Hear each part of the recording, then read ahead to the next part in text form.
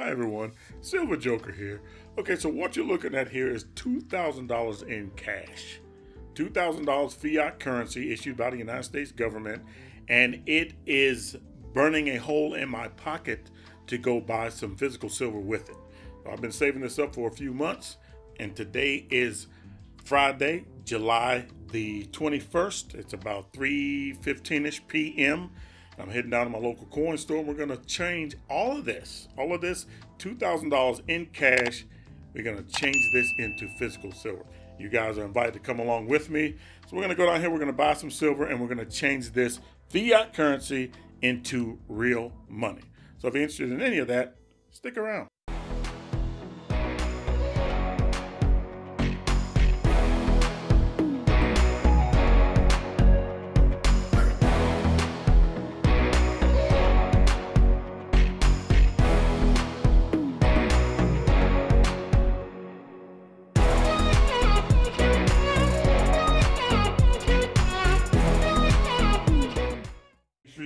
With my good friend Clay, and then Larry over there.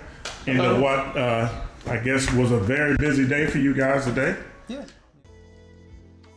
All right, so many of you who follow my channel can already see there's a little difference in the format and the way that I conducted this interview with Clay than previous uh, interviews we had, conversations that we had. And that's because I had a few audio technical difficulties. So I basically had to improvise. it was very busy, a lot busier than it normally is. So between him helping people and talking to me, we got a little bit of dialogue going. So this is what I asked him. Walked in, business was booming. And so I hadn't been in there in a few weeks. So I asked him, was this kind of the norm over the past two weeks? And uh, if it was, what's going on? And this was his answer. Not really. I think we've went through a little bit of a slow patch in the last maybe six to eight weeks in the market in general. It's kind of everybody in the industry has corroborated that. Um, premiums have went down now, so you know a lot of the stuff is more available than it was, and it's actually cheaper than it was. So Oh. I think that's starting to spur demand again. You know, like Silver Eagles, they're down to thirty-two dollars now. Retail is what we're selling them for, and that's just the premium's been compressing now instead of widening. So that's a good thing.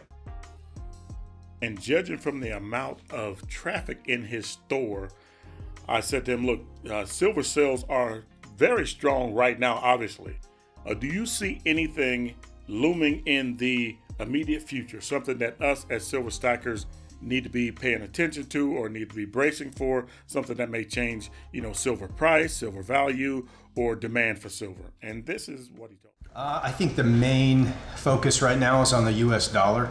Uh, you know, the dollar index from a technical standpoint, we're just vibrating right around that 100 basis point area. Um, and there's a lot of technical support there, but it's also a really vulnerable area. So, you know, a lot of blogs have been pointing out that we've got a head and shoulders technical situation with the dollar. You know, in the next four to eight weeks, it's going to be important to watch and see if the, the dollar breaks under 100 on that index. If it does so um, with some gusto, then I got to think that we're going to see a pretty good dollar devaluation, maybe into the, the upper 80s by next year. That would be a big metals bull, obviously, with that type of decline in the index. Anything could happen. But Right. that's one of the things I notice is on everybody's mind with currencies right now in the Fed.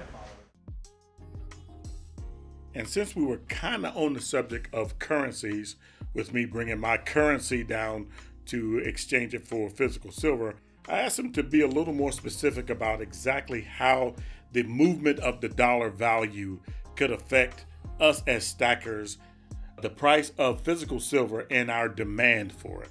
And this is what he said. In a fractional reserve banking system, credit always has to expand to keep the game going, right?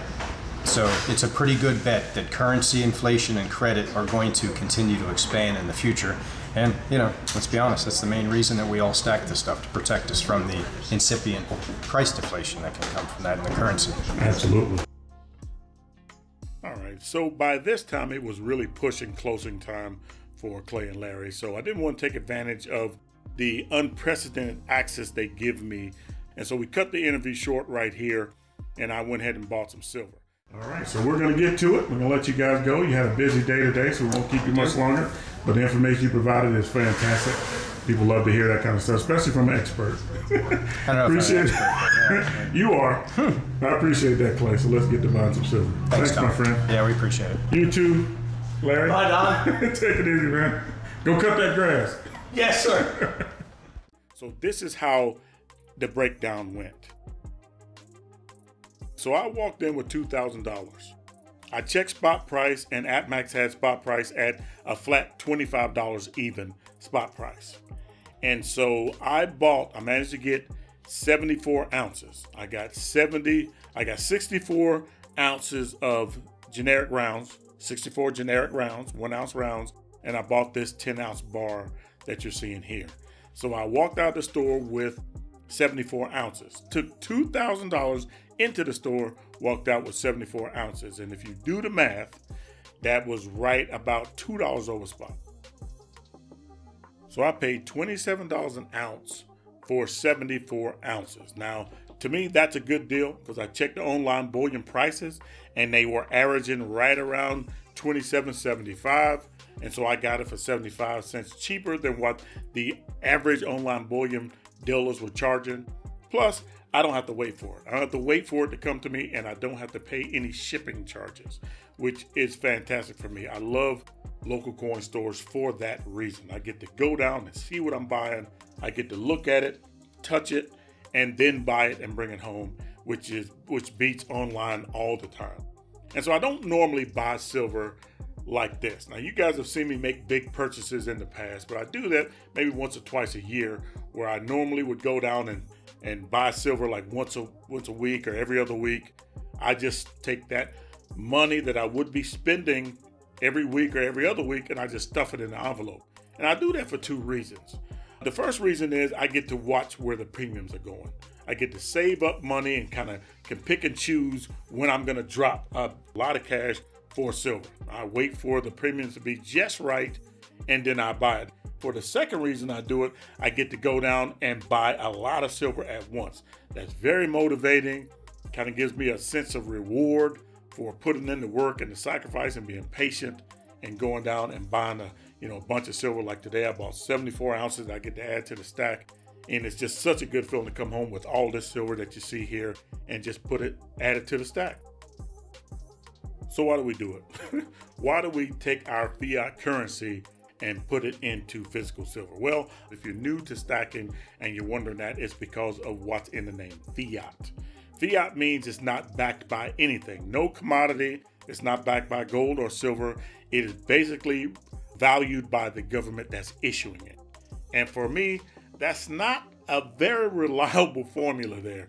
I mean, you know, when I'm thinking of Zimbabwe, I'm thinking of Venezuela, and I'm not an economist. I don't know a whole lot about how currencies are valued and devalued and that kind of thing. And I just know that they can't create physical silver. They can't make it. There's a finite amount. Now, who knows? That's up to debate how much silver's out there. For me, there's plenty of silver out there. Sometimes it's is more silver than other times, but I've always been able to get some silver in my stack. So I don't think we're running out of silver anytime soon. I don't think that there's going to be some catastrophe that's going to happen anytime soon. And I really don't think silver is going to go to a $1,000 an ounce anytime soon. But we buy it because it's a safe place to put our hard earned wealth. If you're relying on those fiat dollars, you may be left wanting if the currency is devalued to such a degree that it becomes um, a problem. now, I don't see that happening, but I have my physical silver because I want to use it for a specific purpose when I retire. That's my silver's for. And I believe it's going to be better to have that physical silver put away than those dollars. Now, I have a lot of investments, I have a lot of other things that I have when I'm no longer earning an income and silver is just a part of that. But it's a big part of that because it is that important. I see the value in physical silver far beyond the fiat dollars that I spend to get. Well, there you have it. I walked into my local coin store with $2,000 in cash, walked out with 74 ounces of 3 nines fine generic silver, which I think is a great deal. I got it for a really good price, so I'm happy about that. And I get to bring a lot of silver home. You guys know when I went and bought that 100 ounces from my friend Troy. I love buying silver in bulk. Can't always do that. I got to buy it, you know, a little bit at a time sometimes, but it is good to just save your money and then go down and make a bulk order. Makes you feel good, it's rewarding, and it just gives you a sense that you're, you're making progress with your stack. Now, you don't have to do it this way. You don't have to save your money and buy in bulk. You can do one or two ounces. I've done that for a lot of years. I still do that to this day. A lot of people that I know do that. However, you got to do it, you do it. But it's so rewarding to see those ounces grow into a stack. Now, I'm not telling you all this to suggest that maybe it is easy, that stacking silver is for everyone. Now, what I'm saying is it will be worth it. If you put in the time, you put in the effort and the energy, make the sacrifices, have the patience to determine that this is the right thing for you so it doesn't hurt you financially, it will be rewarding. You will get something positive out of it. I don't want to suggest that it is for everyone. Please do your own research, come to your own conclusions, make sure you understand what physical silver is meant to do for you before you get into buying it and stacking it because it can be very rewarding and it can also be a pain in the you know what. anyway, we're going to leave it right there. I appreciate you guys stopping by. More good content coming up. It's going to keep the silver chain rolling. Keep stacking. Peace.